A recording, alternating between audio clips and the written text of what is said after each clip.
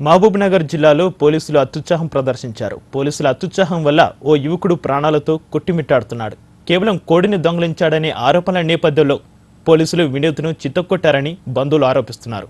పోలీసుల చర్యను వ్యతిరేకిస్తూ స్టేషన్ ముందు బాధిత కుటుంబీకులు ఆందోళనకు దిగారు.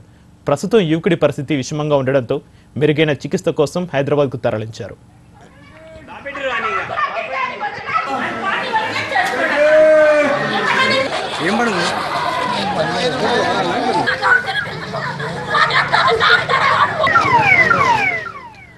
అచ్చంపేట నగర పంచాయతీ ఎన్నికల సందర్భంగా ఓ పార్టీకి చెందిన నేతలు తొమ్మిదో వార్డులో డబ్బులు పంపిణీ చేస్తుంటే వినోద్ అనే యువకుడు పోలీసులకు ఫిర్యాదు చేశారు. దీంతో వినోద్పై కక్ష పెంచుకున్న ఆ పార్టీ నేతలు వినోద్ తమ కొడిని దొంగలించాడని పోలీసులకు ఫిర్యాదు చేశారు. దీంతో అతన్ని అరెస్టు చేసి పోలీసులు చిత్రహింసలకు గురిచేశారనే ఆరోపణలు వినిపిస్తున్నాయి. Yeah,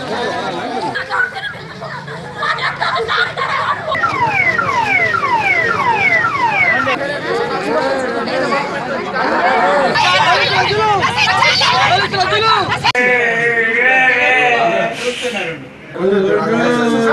yeah.